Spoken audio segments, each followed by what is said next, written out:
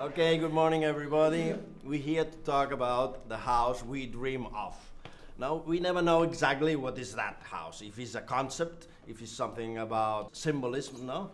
A metaphysical thing, is an idea, is something that you dream, uh, or is something real. Uh, what do you think? For me, um, the word that describes my the house of my dreams would be sensations, like strong sensations. Um, I always imagine like the bathroom with a bath, like you are in front of a mirror looking at yourself, and you are like alone. And I think that it's the biggest isolation you can have. Um, so the word would be fly, because the house of my dreams would be, I think, a flying house, because I have the problem that I want to live everywhere, and I don't think I'll have enough time. Um, so a flying house uh, would allow me to live in New York, and when I'm tired of that, then I would go to I don't know somewhere else, lost in the middle of nowhere. I think my dream house would be a house of memory, so the keyword would be memory. Because I think it's really important to feel attached to a place and to create some sort of memory of the place. And maybe it would be, it doesn't have to be always the same house, but it would be something I would bring always to the house. It could be a piece of furniture that would remind me of my grandparents or something like that.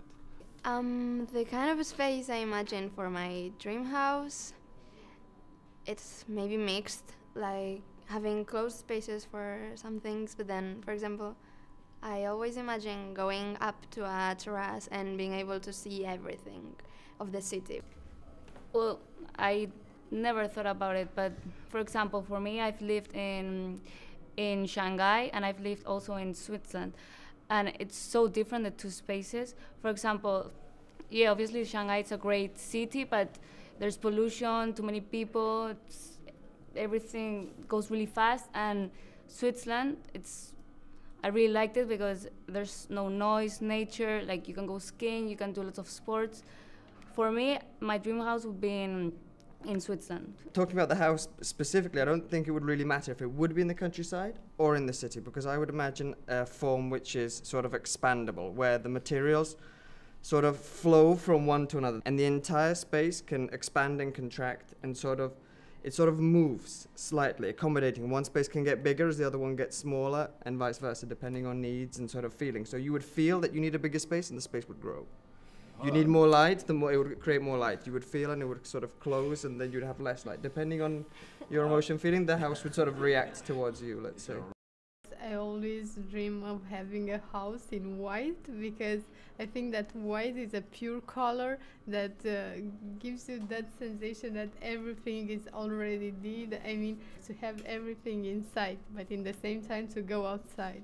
Uh, I think my word would be dynamism like i mean I, I, I think it would be like the water that goes throughout all the mountain and also the materials you can change or you could go inside outside i mean if you want to go to the living room you can you have to go to the outside and then to the inside so it would be dynamism So maybe my word would be collage because I want everything.